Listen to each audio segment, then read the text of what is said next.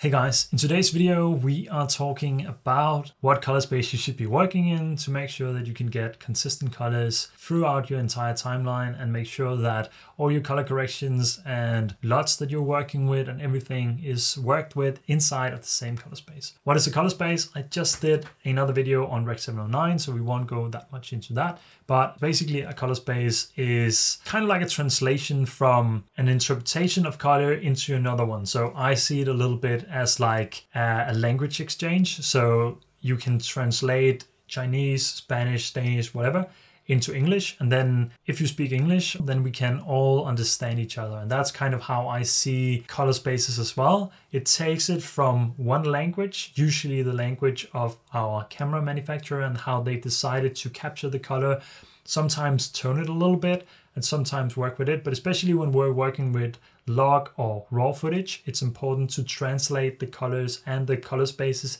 into a color space that we can understand. And why is that important?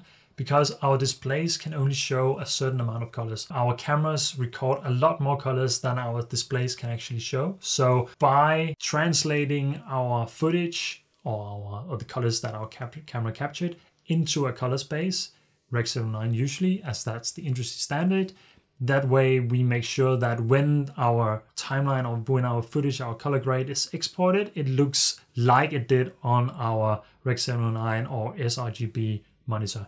You can look into that previous video if you want to and get just a little bit more in depth of what we're talking about there. But today we're going a step further. So we still want our final output to be Rec 709. But if you look at the screen here, if you edit and color grade in DaVinci Resolve, as I recommend that you do, and that will be the only reason that this video actually applies to you. But you can see that Rec 709 is what we have in here on this picture that I found on the internet. It's quite a small color space and in this case of what we are seeing here, the smallest of them. But if we're then looking at DaVinci Wide Gamut, that is a very large color space with a lot of information, a lot of color available.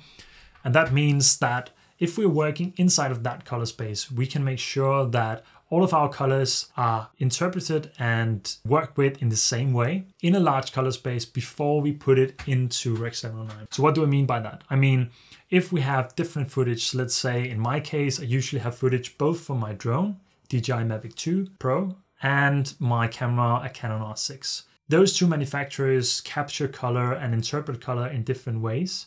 We can still put both of them into Rec 709. If you watch my previous video, you'll know that you should do that in the end, and then you work in that color space, in the camera's color space beforehand. So you're actually seeing the output in the Rec 709, but you're still working with the colors inside of the camera manufacturer's color space. But what the issue is here is that now if you want to make sure that you have the same colors, you can't do the exact same thing because DJI has done one thing and Canon has done another thing. So the colors won't match up exactly because the cameras have captured them differently.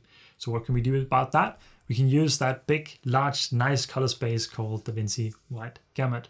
So let's jump into DaVinci. Let me just show you what we're talking about. Now we're inside of DaVinci Resolve and I still have the timeline open from my previous video. So in this case, let me just turn off the first one. This last node here converts our footage from Canon Cinema Gamut to Canon Log 3, then into Rec 709 and Gamma 2.4, which is what most displays can show. So that's kind of like the industry standard. That's what we want to output for to make sure that everyone can see the colors as we saw them on our display making sure once again that our display is set up to show sRGB or Rec 709, same thing. So what happens here is that I, I have this node and this in the previous video I showed you the difference between using Rec 709 first and last, but now I want to change this up. So I want to still have Canon Cinema Gamut here, Canon Log 3. That's the input. That This is the first node. So this is what is inputted into my node. This is my footage. Now I want to turn that into DaVinci Wide Gamut and DaVinci Intermediate for the gamma. So when I turn this on, it'll still not look correct because this node here is still expecting to receive Canon Cinema Gamut and Canon Log 3, and it's not right now because this node outputs DaVinci Wide Gamut and DaVinci Intermediate. So if I change this up to go to DaVinci Wide Gamut and DaVinci Intermediate, now I have a color space that I'm working within that is taking my Canon footage, Canon color space and gamma into this node, converting it into DaVinci Wide Gamut and to DaVinci Intermediate. Then I make my changes in here and then I output it into this node that then takes the DaVinci Wide Gamut, which is what we're working with in here, and turns it into Rec 709 and Gamma 2.4. So I hope you're still with me, but that means that everything that we're doing in here and we're working with in here is now in DaVinci Wide Gamut, which is one color space. So if we take any footage that we have, a drone footage, put it through the same pipeline, it will be and stay inside the same color space. Now, this LUT that I've used here is one from my new Cinepack that will come out very soon. And that's not set up necessarily for interpreting or working inside of DaVinci Wide Gamut because I wanted to be broader and wanted to be able to work with more. But if we turn our Rec 79 conversion off, we can see that it's not exactly log. If we turn this off, this is log. This is what my camera captured in log. And now this is what it looks like in DaVinci Wide Gamut. And now it's in Rec 709. So the colors have been interpreted in a certain way. And now we're working with them in here.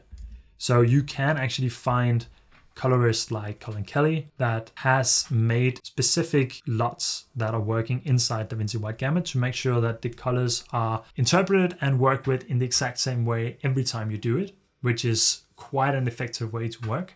And if you're going to be uh, a pro colorist, that's definitely the way to go. And even if you're not, I would still recommend doing this. Ever since I found out about this, I've been doing it and I've been very, very happy with the results because I know now that all my footage, even though some comes from DJI and some comes from Canon, and even when I work with something like Sony footage sometimes or Lumix footage, Panasonic, I still know that it'll be inside the same color space because I make this transformation in the beginning. So I just wanted to show you that and share that with you because that's quite powerful when you're color grading inside of the DaVinci Resolve. It's changed a lot for me. It's made it so much easier and I definitely recommend checking it out. And I hope you can hear from what I've told you that it makes sense to do. I hope it makes sense for you. Otherwise, you're welcome to shoot some comments down below and I'll be happy to answer. I'll, be happy to explain further and kind of like help you figure out what this is all about. So without dragging it out anymore, I just wanted to say thank you for watching and until the next time, take care.